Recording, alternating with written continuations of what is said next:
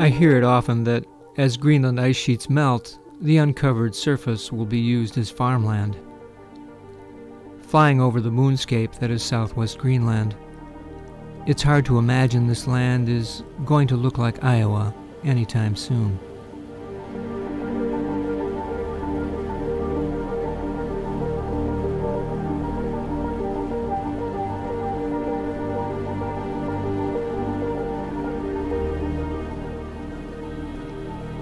As we proceed up the coast, Jason Box continually confers with our pilot on routing, fuel, speed, and the weather up ahead.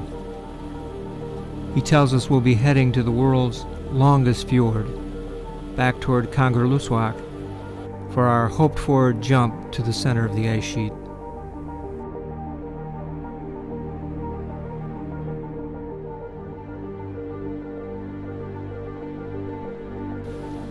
Making the bend inland, a light rain mixed with snowflakes is beating against the windshields.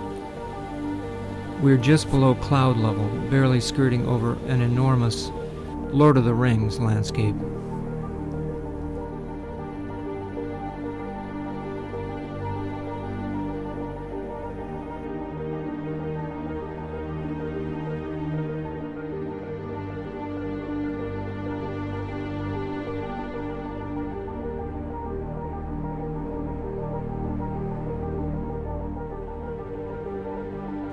Approaching Kangerlussuaq, we can see the floodplain of the Watson River at the upper reaches of the fjord. Kangerlussuaq itself is a former Strategic Air Command base with one of the world's longest airstrips. Here we're going to stop and run through our final checklist.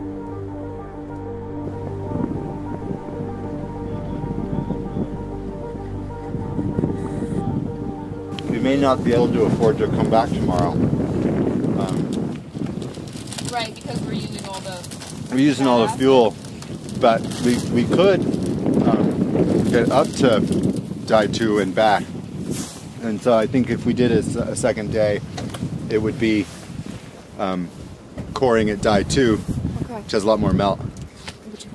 I think the coring is gonna, I'm gonna say an hour and a half.